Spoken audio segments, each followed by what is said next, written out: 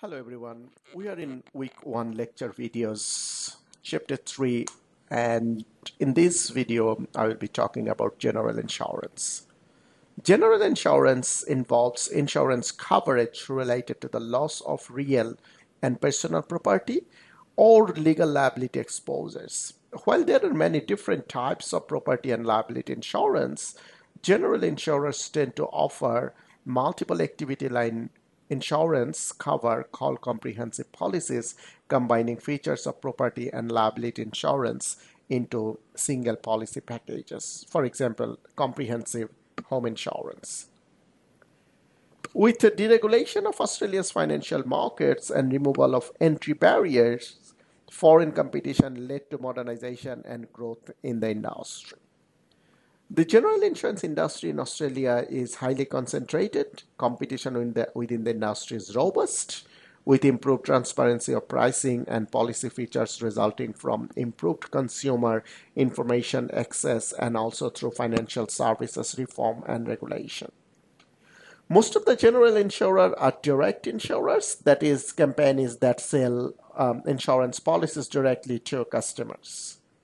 In June 2014, 12 insurers were specialist reinsurance companies which underwrite insurance from other insurers. While most general insurers will undertake some reinsurance activities, reinsurance is the only business of a specialist reinsurer.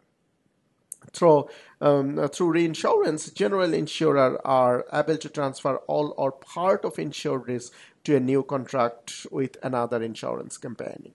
So uh, just to just to give you a very brief definition, direct insurer are the insurer that sell insurance policies directly to customers. On the other hand, reinsurer um, are the one that purchase insurance policies from the others. So in this case, uh, a direct insurer can spread the risk to the other insurers, uh, effectively the reinsurers.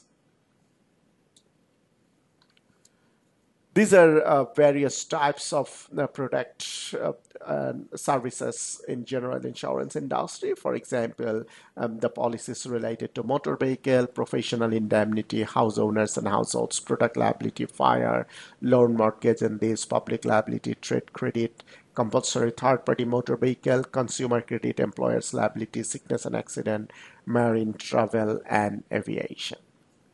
So that's uh, the end of our discussion on general insurance. In the next video, we will complete chapter 3 by discussing the superannuation funds. Thank you.